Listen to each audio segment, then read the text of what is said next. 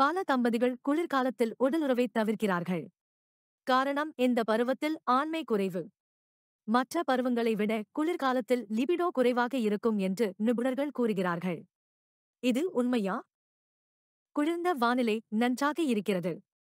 ஆனால் இது பல உடல்நல பிரச்சனைகளை கொண்டு வருகிறது. மேலும் இது செக்ஸ் ஆர்வத்தையும் குறைக்கிறது என்கின்றனர் நிபுணர்கள். ஆம் குளிர்காலத்தில் பலருக்கு லிபிடோ குறைவாக இருக்கும். இது செக்ஸ் மீதான ஆர்வத்தை இழக்கச் செய்கிறது.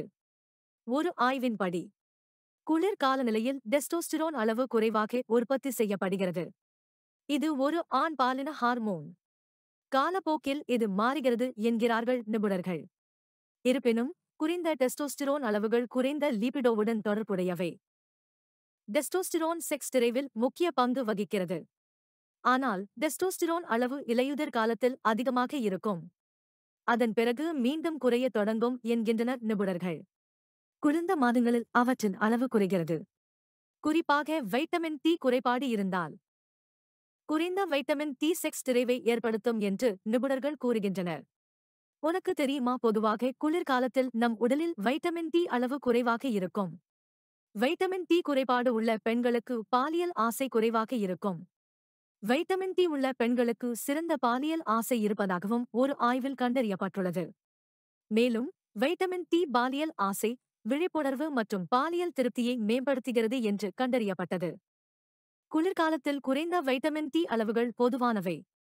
ஆனால் இது நமது நரம்ப மண்டலம் மற்றும் தசை செயல்பாடு உட்பட நம் வாழ்வியல் பல பகுதிகளை பாதிக்கிறது. குறைந்த வைட்டமின் டி அளவை குறைந்த பாலியல் ஆசையுடன் இணைக்கும் ஆய்வுகளும் உள்ளன. குறிப்பாக பெண்களில். அதனால்தான் குளிர் காலநிலையில் தினமும் சிறிது நேரம் காய வைக்க வேண்டும் என்கின்றனர் நிபுணர்கள். உங்களுக்கு அவ்வளவு நேரம் இல்லை என்றால் வைட்டமின் டி சப்ளிமெண்ட் சாப்பிட வேண்டாம் என்று நிபுணர்கள் கூறுகிறார்கள். இல்லையெனில் இந்த பருவங்களில் உடலுறவை அனுபவிக்க முடியாது. அது உங்களை மந்தமாக்குகிறது. வானிலையை அனுபவிக்க முடியாது. இந்த பருவங்களில் காற்று உங்களை தூங்க வைக்கும் ஆனால் உடலுறவு கொள்ளாது என்று நிபுணர்கள் கூறுகிறார்கள். ஆனால் சில குறிப்புகள் மூலம் நீங்கள் குளிர் காலநிலையிலும் உடலுறவை அனுபவிக்க முடியும். இப்போது தெரிந்து கொள்வோம். குளிர்காலத்தில் செக்ஸ் மனநிலையை பெற சில முன்னெச்சரிக்கை நடவடிக்கைகளை எடுக்க வேண்டும்.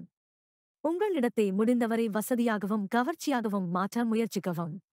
மேலும் அறையில் மெழுகுவர்த்திகள் ஆடம்பர போர்வைகள் ஆகியவை உங்களுக்குள் பாலியல் ஆசையை தூண்ட உதவும். உங்களால் முடிந்தால் உடலுறவுக்கு முன் உடற்பயிற்சி செய்யுங்கள். அதுவும் உங்கள் உடல் சூடாக வைத்திருக்கும். இது உங்கள் இதய துடிப்பை அதிகரிக்கிறது. இரத்த ஓட்டத்தை அதிகரிக்கிறது.